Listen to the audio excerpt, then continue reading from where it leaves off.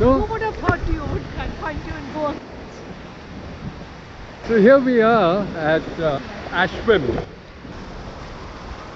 A broad, open beach.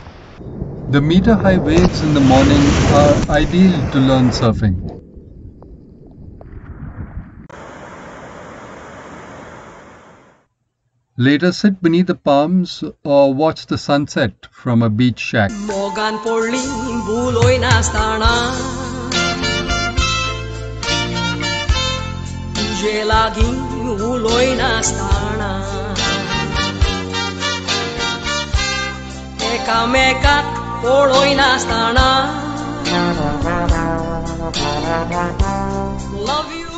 Next morning, we walk up the beach. So here we are on uh, Beach and this is far north of uh, Goa.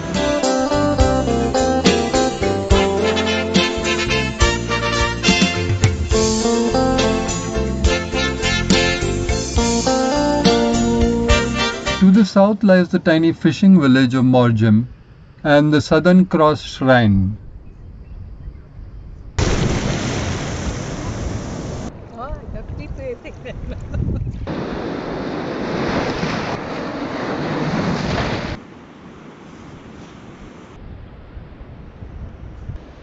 Take in the endless waves under a beach shack. Today we're going to check out some local markets.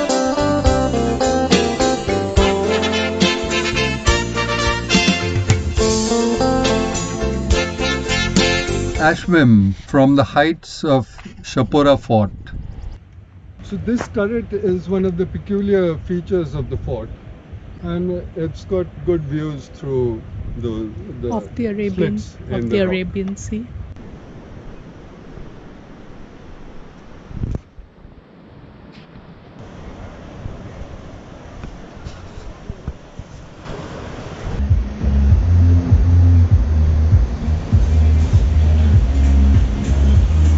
From the cool veranda of a beachside restaurant, enjoy bibenca with ice cream and take in the bargains on the beach.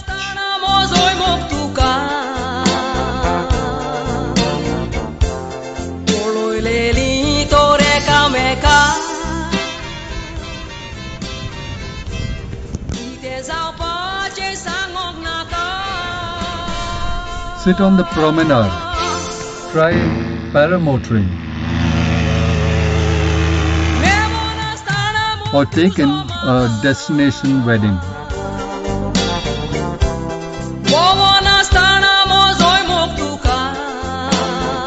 That was Ashvem with Mandrem and Morjim beaches, a quiet stretch of northernmost Goa. Thanks for watching this. Don't forget to like and to subscribe and we'll see you at our next destination.